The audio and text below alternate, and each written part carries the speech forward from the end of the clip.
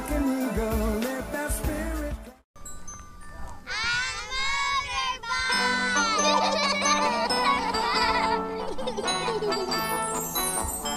Hello, motorbike. Hey, Henry Kid. How are you today, motorbike? I feel fantastic, Henry.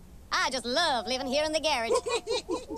Just tightening your bolts Changing your oils. Look, look, look. and polishing your exhaust. Thanks, fellas. What do you think, Henry Kid? You look great, motorbike. But what does a big engine like that do exactly?